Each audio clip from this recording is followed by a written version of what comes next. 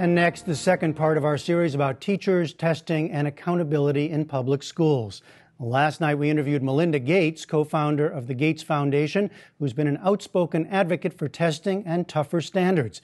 Tonight, we get a different view on how teachers are and should be evaluated. Ray Suarez has our story.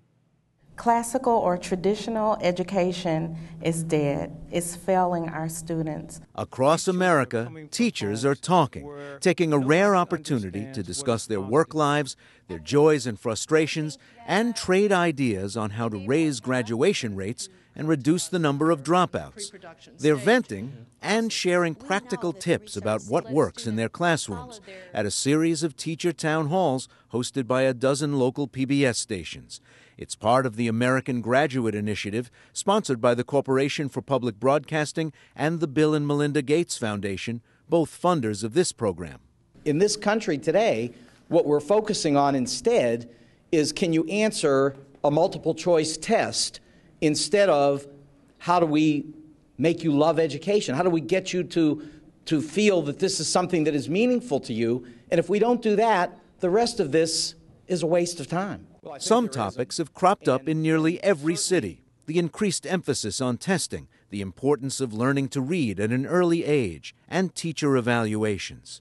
Throughout the continuing debate on how to hold teachers accountable for student achievement, some of the most vocal opposition has come from what you might call a former reformer. Diane Ravitch served as Deputy Secretary of Education during the George H.W. Bush administration but in recent years, she's sharply criticized the federal law known as No Child Left Behind, a law signed by President George W. Bush. She's also been critical of the Obama administration's approach and of major changes in school districts in New York City and Washington, D.C., where chancellors have insisted on tougher accountability measures for teachers. Ravitch is an author and education historian. Tonight, we get her view of the ongoing debate. Dr. Ravitch, welcome back to the program. In the recent debates on fixing American schools, a lot of emphasis has been placed on teachers, how to train them, how to pay them, even when and how to fire them. Is putting teachers at the center of reform at least a step in the right direction? Well, certainly teachers are crucial to, uh, to schools.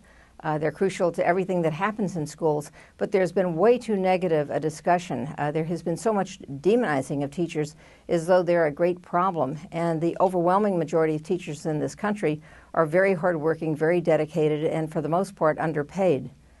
Is there a place for an evaluation system that figures out what teachers do well, identifies areas where they need improvement, and then goes on to pay top performers accordingly?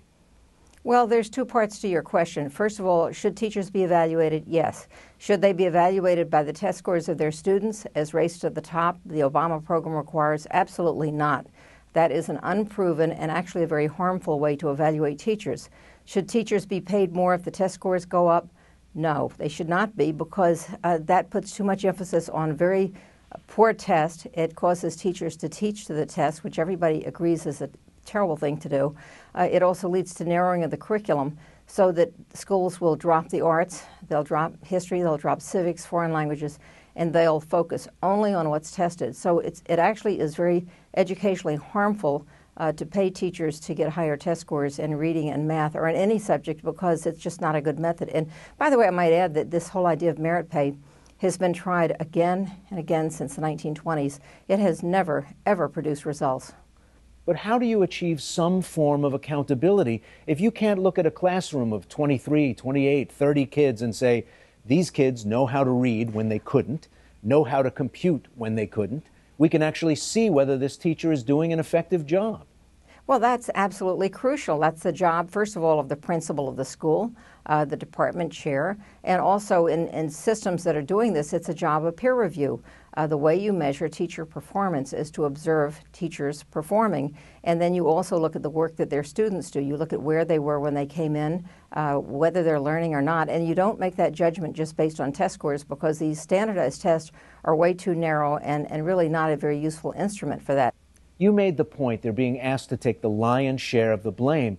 But are there, in fact, ineffective teachers, and are they, can they be fired in places where collective bargaining agreements have historically made it difficult to do it. Well, are there ineffective teachers? I'm sure there must be. I've heard stories of ineffective teachers, and I certainly don't think there should be even one ineffective teacher in any school. And it's the job of the administration, the job of the principal primarily, to make sure that no ineffective teacher ever gets tenure. Once they get tenure, all that means is it doesn't mean they have a lifetime job.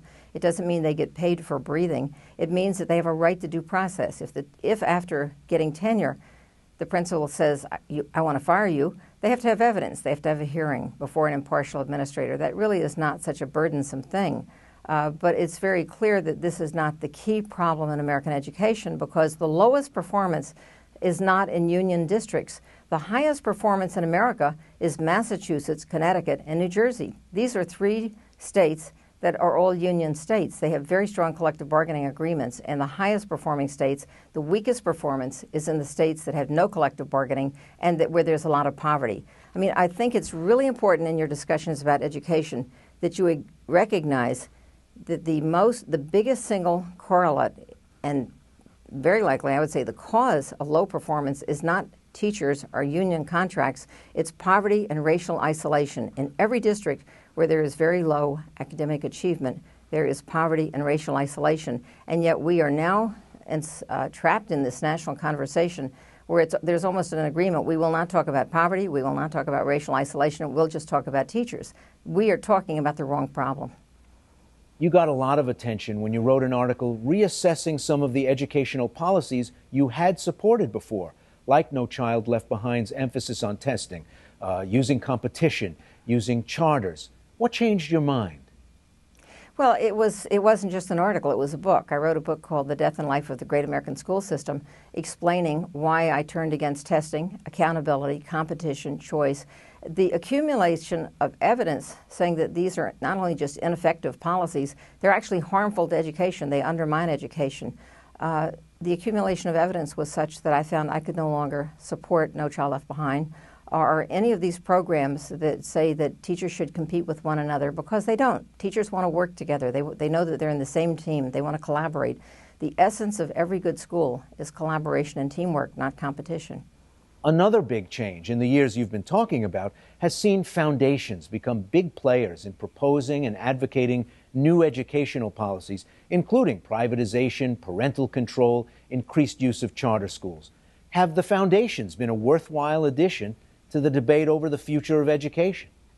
Well, I have a chapter in my book about, I call them the Billionaire Boys Club.